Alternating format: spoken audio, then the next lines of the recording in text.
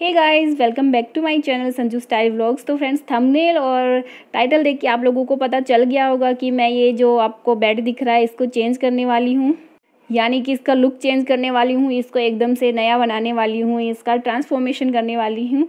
तो पहले हमारा बेड जो था, वो कुछ ऐसा दिखता था। तो इसके लिए सबसे पहले हमने इसका जो हेड बोर्ड होता है, वो चेंज करवाया है। ये वाला हेड बोर्ड वाला काम जो है, हमने कारपेंटर से ही करवाया है।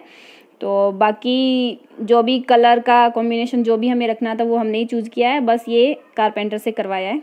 तो कारपेंटर ने ये हेडबोर्ड लगा दिया तो पीछे जगह थी तो मैंने सोचा कि मैं इसके पीछे एलईडी लाइट्स लगा देती हूँ। तो ये वाली स्ट्राइप मेरे पास रखी हुई थी। जो कि आप लोगों ने देखी भी होगी मेरे एक बेडरूम मेकओवर वीडियो में जो मैंने मेमोरी ट्री बनाया था, उस पर मैंने लगाई थी। तो ये एलईडी लाइट्स की एक स्ट्राइप आती है, इसमें ये सेल्फ अडेसिव होती है। अपने आप कहीं भी आप चिपका लो तो चिपक जाती है। तो ये मैंने इसके पीछे लगा दी है। और एलईडी लाइट्स के बाद में बारी आती है बेड का जो कलर है, उसको चेंज करने की। तो इसके लिए मैंने ये वॉल स्टिकर आप इसको बोल सकते हो, या फिर ये डेकल्स इनको बोलते हैं। और ये फर्नीचर पे लगाने के ही काम में आते हैं। मतलब फर्नीचर के अलग से ये वॉल पेपर आप इसको बोल सकते हो, कुछ ऐसा है। पेपर या स्टिकर इनको बोलते हैं तो वो मैंने मंगवाया है। तो ये वाला रोल जो मैं खोल रही हूँ, ये वाइट कलर का है और इसी को हम यूज़ करेंगे। तो सबसे पहले ये स्टिकर लगाने से पहले जो जितने भी हुक्स और हैंडल्स जितने भी होते हैं हमारे बेड में, वो हमें निकाल लेने हैं। तो ये जो है मेरा, ये एक ड्रॉर नीचे की साइड जो बेड के अंदर ही जो ड्रॉर बनी होती है स्टोरेज की उस पर ये दो लगे हुए थे हुक्स तो इनको मैं निकाल रही हूँ अभी। और पेपर लगाने से पहले बेड को अच्छे से क्लीन कर लेना है। और ये आप रोल देख रहे हो, ये टेन फिट लंबा है और दो फिट ये मतलब चौड़ा है इसकी विर्थ दो देख सकते हो आप, यानी कि चौड़ाई दो फिट है और वैसे ये दस फिट लंबा है। तो मेरा बेड जो है, इसकी ऊंचाई जो है वो कम ही है, एक फिट की है, इसलिए मेरा ये अच्छे से इसमें काम चल गया। और इसमें मेरी मानविक ने बहुत हेल्प की है और ये देखिए आप कैसे यहाँ पे लगा के बैठा है। तो मैं यहाँ पे इसका मेज़रमेंट कर रही हूँ कि कितना मेरा लगेगा यहाँ पे पेपर इस साइड में, सब साइड में। तो मानविक ने हेल्प की और वो अच्छे से पकड़ के बैठा है। बहुत हेल्प कर रहा था इस चीज़ में मेरी आज ये।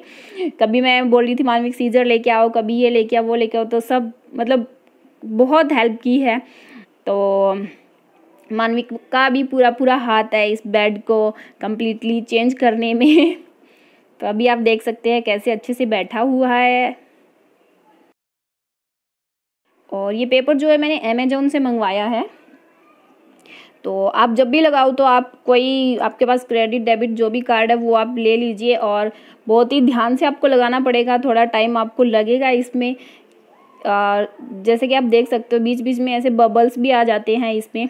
हवा भर जाती है तो वो चीज़ को हटाने के लिए मैं यहाँ पे, मैंने एक कार्ड लिया हुआ है और उससे मैं इस पेपर को लगा रही हूँ अच्छे से। तो छोटे छोटे बबल्स अगर आ रहे हैं तो कोई बात नहीं, अगर बड़े बड़े आ रहे हैं तो आप मतलब लगाते टाइम ध्यान रखिए और ये कार्ड से इसको हटाते रहें।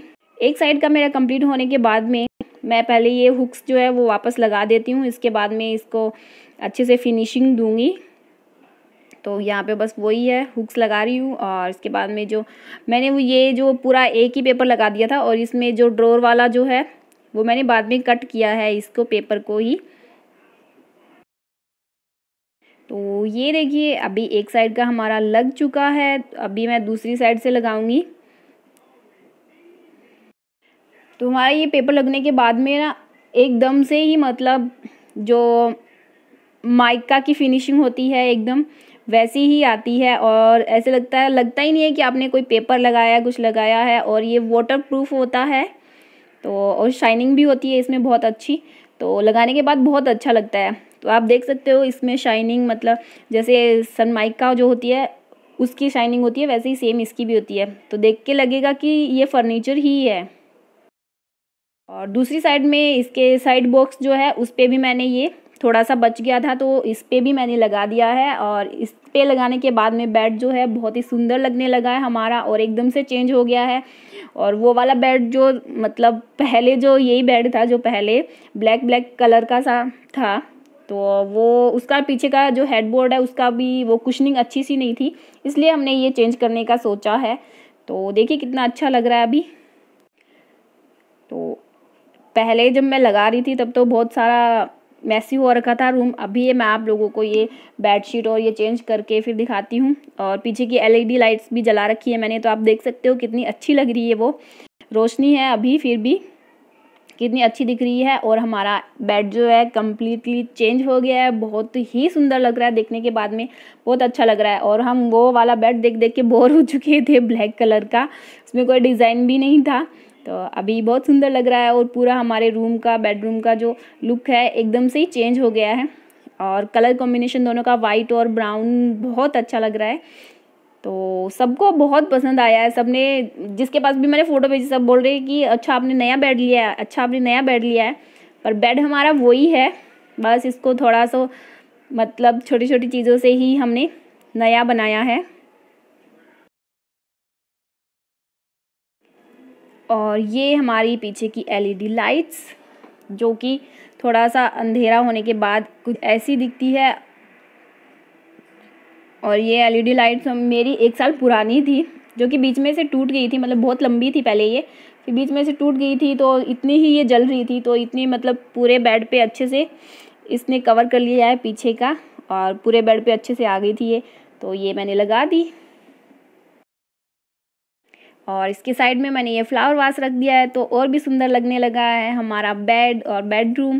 तो धीरे धीरे इस बेडरूम का मैं मेक ओवर कर रही हूँ। तो फ़र्स्ट चीज़ तो यही है मेरे मेक ओवर में कि मैंने बेड का जो है लुक चेंज कर दिया है।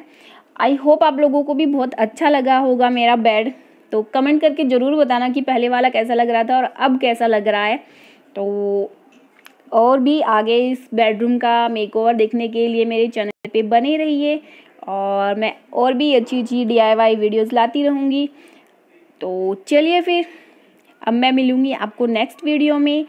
तब तक के लिए बाय